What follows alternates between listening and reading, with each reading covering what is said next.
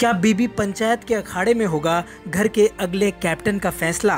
Team jasmine और team Rubina के बीच होने वाली है ज़बरदस्त भिड़ंत। TV reality show Bigg Boss के घर में इस समय बैठी हुई है पंचायत। सरपंच बनी है, घर की मौजूदा कैप्टन कविता कौशिक। घर के बाकी आठ सदस्यों को दो टीमों में बांटा गया है, टीम जैस्मीन और टीम रुबीना। जैस्मीन की टीम में अली गोनी, निकी तंबोली और राहुल वैद्य हैं। वहीं रुबीना की टीम में एजाज खान, अभिनव शुक्ला और पवित्रा पुनिया हैं।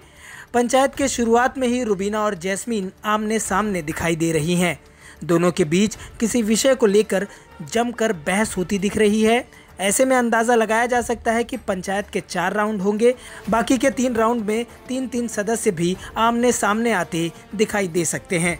ऐसे में दर्शकों के मन में ये सवाल उठ रहा है कि क्या इस बार पंचायत के अखाड़े में होगा घर के अगले कैप्टन का फैसला, या फिर ये पंचायत कैप्टनसी के दावेदारों को सामने लाएगी और फिर उसके बाद कैप्टनसी टास्क होगा। बहरहाल, अभी इस विषय पर कुछ भी कहना जल्दबाजी होगा, लेकिन अपकमिंग एपिसोड में बीबी पंचायत का मकसद साफ़ हो सकता है। ये उम्मीद दर्शक ज़रूर कर सकते हैं।